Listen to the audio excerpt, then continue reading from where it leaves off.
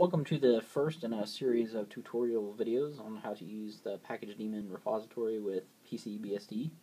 Uh, for this first video, I'm just going to install the PCBSD rolling release with um, no other window managers, uh, just Fluxbox, and I'm going to install ZFS since I'm using a 64-bit system. I'm going to snapshot everything uh, before I start to make changes uh, to the system. Um, then I'll just give a quick overview of what you can do with it afterwards.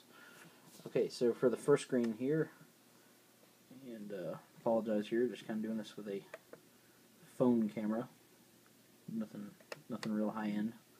I'm gonna hit customize on the desktop selection screen. Um, here's where you can cycle through and you know, choose your various different version, but I'm gonna choose the regular desktop version. You can install KDE alongside, and that won't hurt anything. Um, you definitely won't want to do um, GNOME, LXDE, or XFCE. Um, those three will uh, prevent the installation, at least at this point, from working properly um, until they've been updated to, well, definitely GNOME 2 is, is never going to work. so we're going to uncheck um, XFCE for now. in fact, I'm just going to uncheck all desktops. And I'm not going to install any drivers on this laptop because I just have uh, Intel video. Um, otherwise, I'd go in here and check NVIDIA if I was using NVIDIA and so on. Save it. Hit uh, next. Um, you could go with the just the standard uh, ZFS installation. I like to do these to uh, avoid the MBR menu since I'm not since I'm not dual booting. I just go into advanced here, use GPT, uncheck that for installing MBR. Next, next, next, finish, and let it install. And I'll be back shortly to show you the booted desktop, and we'll go from there. Okay, so now we're at the GDM login screen where we can log into a, a window manager here. Um, I chose to do uh, Fluxbox, but if you had installed uh, KDE, that'd be fine to log into it as well. Um, once we log in here, I'm going to open up Xterm. kind of typed ahead on this part because I couldn't hold the camera and type at the same time. Uh, basically, I just uh, typed su dash to log in as root. I typed ZFS list, uh, which shows you my tank name is tank zero, uh, what PCBSD chose for me. And down at the bottom, I typed ZFS space snapshot space tank zero slash root slash default at pre gnome three, and at pre gnome three is the just the name of my snapshot. Uh, tank zero slash root slash default is the part of the file system I'm snapshotting, which is where I'm going to make all the modifications. Um, so I can basically type it in that quick I made a snapshot. And now uh, I just opened App Cafe here over uh, over the left here. I'm going to install a couple tools real quick. Uh, web browser just to make things easier. don't have to do this, totally optional, but if you're working off one system, it makes things easier. Otherwise, um, you can read on another computer the steps and type them in on this one. Um, in addition, addition to this, I think I'm going to install a terminal emulator because the built-in Xterm doesn't allow me to paste commands. So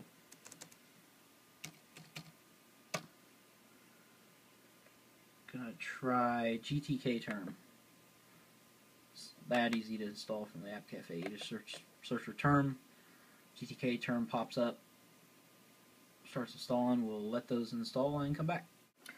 Okay, so GTK term did not uh, provide what I needed with the uh, cut and paste functionality, and come to find out, actually holding the left and right mouse buttons in Xterm will accomplish the same thing.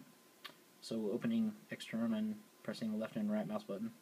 But since we're already there, um, once you have these two installed in App Cafe, uh, you can press uh, Alt F2 to open the run command to run a program, and type Firefox to open Firefox. Might take a minute to come up here. It was a little slower in Fluxbox for some reason, unless I typed it wrong. Nope, there it is. Alright. Get rid of window, and then Alt F2 again for uh, Terminal. That was the name of the program. That should open a little, little terminal. There we go.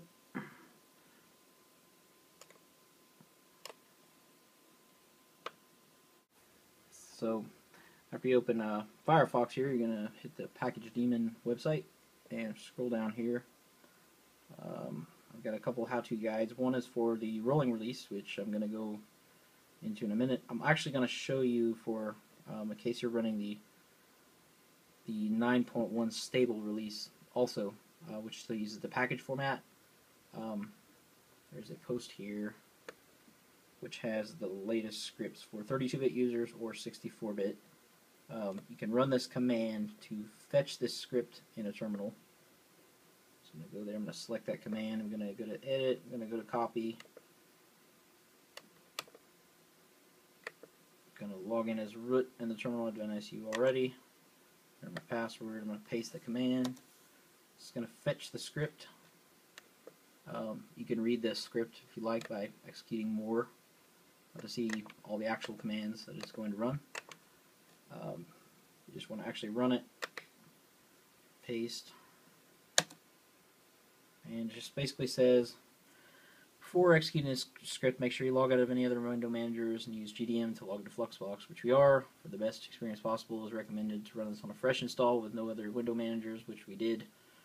Um, this script will remove any conflicting packages and then install GNOME 3.4 blah blah blah blah, and so on. Um, basically, this script will also um, actually it will remove um, GNOME 2, XFCE, and LXDE for you um, if those are installed using the PC Meta Package Manager. I added that in. Um, so if you do have those installed, it will uninstall them. Then it'll run package delete about 300 times. Um, then it will run package add a couple hundred times to um, basically get the uh, the GNOME 3 packages installed. Um, I do plan to update this as well. I wasn't going to. I was going to focus on the package NG release, but since I've had a lot of requests to uh, update this to provide uh, the newer GNOME 3 packages and Cinnamon as well, um, I'm gonna I'm gonna update this as well. Um, get a get a new version out there soon, um, and basically I'll try to write it in so that uh, you don't have to uh, to start over. That it'll just remove all the GNOME 3 packages that you may currently have and uh, reinstall the latest ones. So we're going to skip this. Um, I'm going to press Control C twice to abort it now. Um, but normally you would just press Enter here. It would run through the commands. It would remove packages. Would install the new ones. Um, since we're running package ng on this installation, we can't do it this way. So I need to Control C twice. Now you'll see I have added a how-to for installing GNOME 3.4 on the rolling release. Uh, this also applies to Cinnamon. You have to do this first. Um, basically, you want to remove any desktops that may conflict, XFCE, XFCE, LXDE, GNOME, if installed. Um, since I fresh install, don't have to worry about that. Um, you could go to uh, Control Panel, System, Control Panel, and System Manager here. If you have these installed, um, uncheck them from there. So on that screen, after you've entered your root password, if you'd had uh, GNOME or LXDE or um, XFCE installed, um, you can just uncheck them here and that would take them off. Um, I should point out um, that probably a big reason that this is not important, I'm, I'm sure of it um, after reading a lot, a lot through the mailing list, um, is the fact that adding GNOME 3 into ports the way it is now would actually break LXDE and XFCE and so on until those ports can be updated to to work with the new libraries as well. Um, in other words, uh, the ports are pretty stable now um, with the GNOME 3 stuff. I mean, there's some issues, uh, but there's a lot of work that's required to existing ports um, before it can just be uh, kind of thrown in there. So a lot of uh, a lot of testing has to be done by the GNOME 3, uh, the FreeBSD GNOME team um, before that can actually happen. Um, and that's probably a big reason it's not in PCBSD at this point, as they um, rely on stuff being in ports first to ensure no breakage with um, any of these other components. Um, so now that we've uh, gone through all that, we'll just kind of move on here. Um, basically, uh, we've removed the desktops that will conflict. We need to set a package site. So we're going to need to edit um, user local etc package.conf uncomment the following lines, or comment the following lines. And just so you can see here, the following lines that I commented uh, were the get mirror, uh, which is actually not working at the current moment anyway. Um, pub key and the HTTP mirror, HTTP mirror, of course. I'm going to leave package uh, cache dir because I like to have that around. Um, just makes things easier later instead of uh, re-downloading packages when you go to reinstall things if removing and so on. Um, and eventually this will hopefully work better when the multiple repos thing is fixed that we can use uh, both the PCBSD repo and my repo and be able to update them simultaneously. Um, all that's really going to happen here is we're just not going to, uh, once we switch this over, we won't get any more updates to Warden or App Cafe or any of the control panel utilities and so on until we switch it back and vice versa. Uh, we still will get FreeBSD system updates as those go through FreeBSD update. Uh, now I'm going to stop here for a minute and add my lines in. So back on the page, we're going to read the example for 64-bit 9x. Um, we're going to use this package site line, copy it, paste that in there. Also, for maybe enhanced security here, you can follow this guide uh, for the package repo key go to this page here. You can download the cert file. Um, I'll do that in a minute. For now, we're going to cut and paste the pub key line with a pointing to user local etc package daemon cert. and we'll save that. Forgot I'm just in edit here, didn't install Nano yet.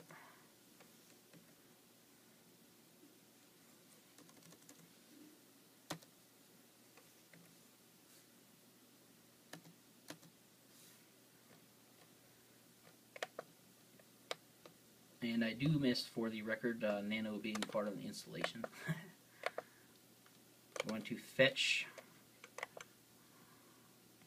the cert file.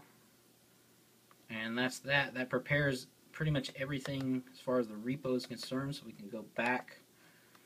Now, and the reason I installed the terminal is just make this whole process easier. There are some package conflicts. Um, I can't simply at this point type package install GNOME 3 because these packages um, can't, well, for whatever reason, won't allow me to be upgraded. Um, it's kind of a known issue, I guess, with package at this point. Um, some of these older packages just don't uh, allow an upgrade at this point.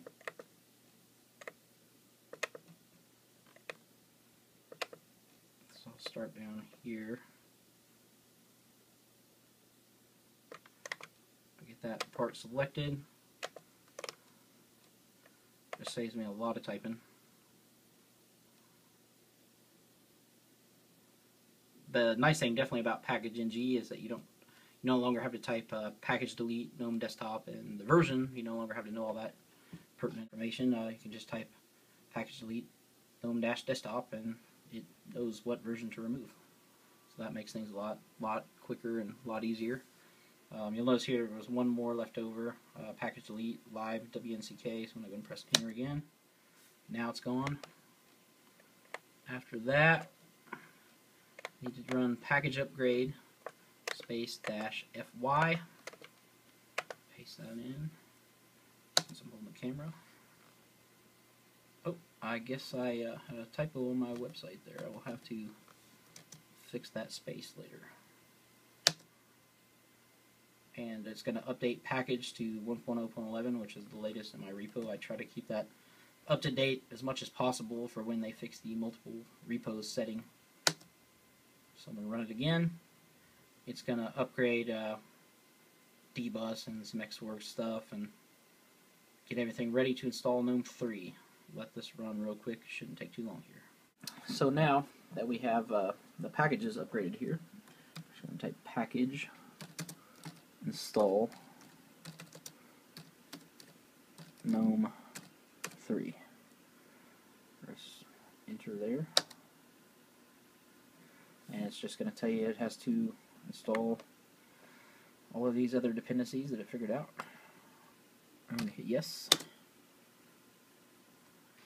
And uh, I'm just going to let this finish here, and after this it will really be as simple as a reboot, um, and then we will be in the GNOME 3 environment running on PCBSD.